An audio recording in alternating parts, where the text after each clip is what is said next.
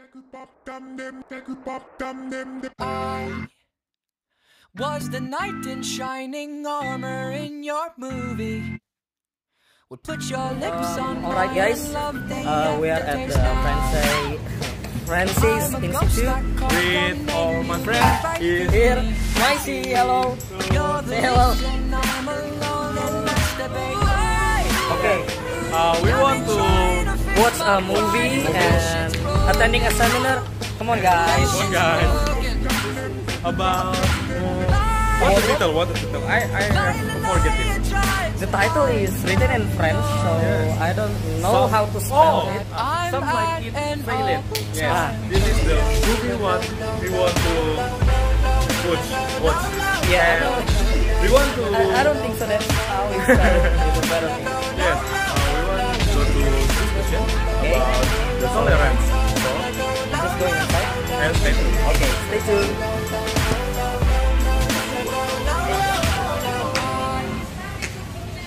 was the prototype like three stacks on that CD. An example of the perfect candidate now. All your girlfriends say that you don't. Um, okay guys, so today we just finished, uh, not today, but this night we just finished watch our movie, and now we're gonna uh, interview. Uh, interview one of uh, one of apa ya? Penonton, penonton. Jadi bagaimana pendapatnya tentang toleransi? Ya, Menurut anda gimana sih toleransi? dari film yang tadi kita tonton bersama nih kak, kira-kira toleransi itu seperti apa sih kak? Ya, jadi toleransi itu sebenarnya tentang cara kita sih memandang orang lain bagaimana. Kadang kan orang lain itu kan punya eh, nilai, punya sesuatu, punya prinsip hidup yang- yang berbeda dengan kita. Nah, bagaimana kita kadang-kadang bisa memahami perbedaan itu tanpa harus eh, memberikan jarak bahwa oh ini berbeda dengan kita nih. Akhirnya kita eh, membatasi diri dan bergaul dengan mereka. Jadi gitu sih. Keren banget kakaknya, dapat banget kayak dari film ini kak. Jadi menurut kakak ini pokoknya kita itu nggak bisa, ya bukan nggak bisa sih, jangan membatasi diri dengan orang lain. Nah, benar banget. Tapi kak, setelah nonton film ini, perasaan kakak gimana sih kak? Eh, saya sangat senang sih karena bertemu dengan orang-orang yang punya kepedulian gitu yang sama toleransi. Eh, mereka sangat fokus eh, pada isu-isu toleransi dan eh, melalui uh, setelah menonton acara ini pun akhirnya eh, apa ya semakin menambah semakin menambah semangat sih terus menjaga toleransi kita di Indonesia. Wah, keren baik, baik kak. Oke guys, kita tunggu lagi banyak-banyak interview lainnya. Tunggu And I aja. see you next time. Eh, saat ini kita udah ketemu sama inisiatornya nih, Kamu nih. Kamu nih, kita mau banyak tanya nih, sedikit, sedikit sih sebenarnya nggak banyak tanya. Ah, coba Kevin mungkin ada pertanyaan. Eh, ini nggak, aku mau nanya, kenapa sih eventnya itu harus uh, why it has to be tolerance? Kenapa nggak yang lain? gitu? Kenapa harus toleransi? Karena memang eh, me- pak diadakan memang sengaja dipilih harinya bertepatan dengan hari toleransi dunia tanggal 13 November eh, yang pertama kalinya.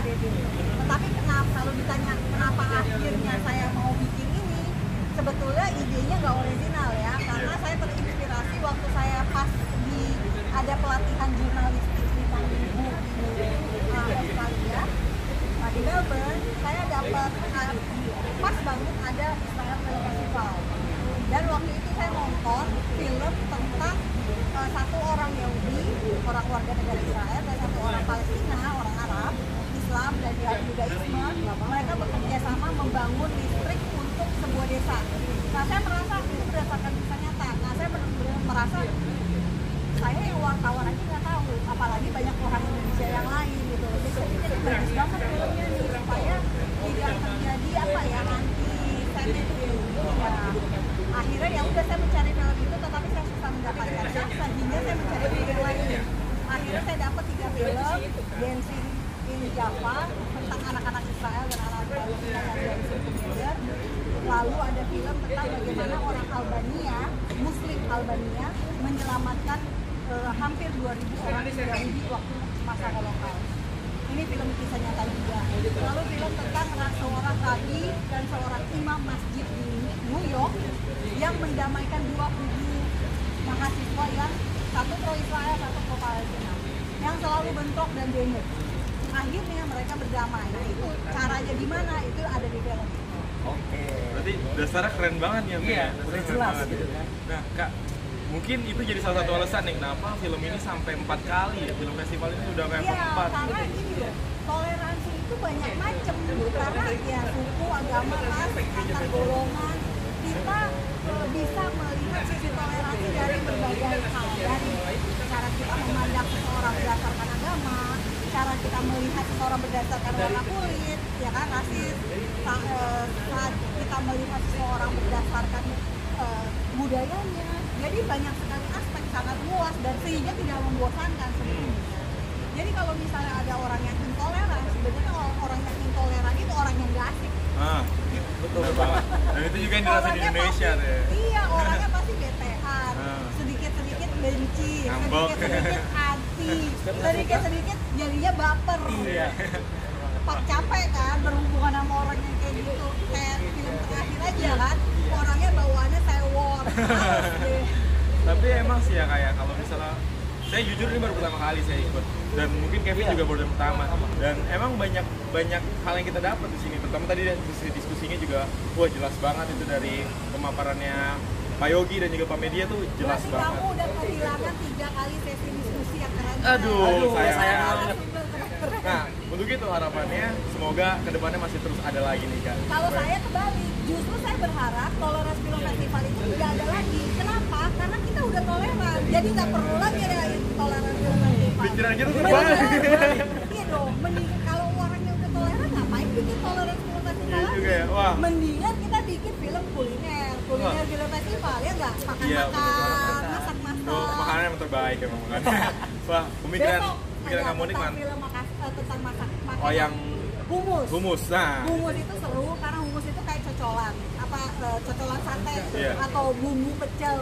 Itu tuh yang dimakan oleh orang Palestina, orang Israel, orang Lebanon dan masing-masing mengklaim ini loh cocolan paling enak adalah punya saya gitu. Jadi orang bisa bisa sewot, bisa berantem gara-gara makanan juga bisa. Oke, sama kayak rendang dong. Iya. Iya, Kasus rendang. Rebutan ya. Malaysia sama Indonesia Iya, ya. betul. Atau batik, batik Oh, iya. Indonesia sama batik Malaysia. Ah, keren banget emang kamu nih ini ya kalau saya sih berharap semoga makin banyak orang yang toleran, Wow. nggak usah baper, nggak usah bikin konflik. Besok film tentang konflik Suriah dan itu berdasarkan kisah nyata bagus sekali karena ternyata kita saya baru tahu mahasiswa di Suriah mas- Islam dan Kristen bersatu melawan rezim. Oke kak, jadi itu aja mungkin dari kita. Terima kasih atas Terima kasih banyak. Ya, sampai, juga. sampai ketemu. Salam toleransi. salam toleransi Salam toleransi. Bye bye. Okay guys, here we back again. Um, so what do we have learned from uh, festival yesterday? Maybe Reza, uh, what some like trailer uh, is film we watch and on the Tolerance Film Festival we learn about something about tolerance. Tolerance is very important. Even a war can occur when the tolerance was in the world. So keep the spirit for the tolerance for a better Indonesia. So Well, for me, just as uh, said, tolerance is important. Why? You can't just judge people by, uh, because they are different from us. I mean, you cannot use uh, any stereotype to differentiate them. Okay. So for me, it's it's important. You will know. and see you next time. Bye bye.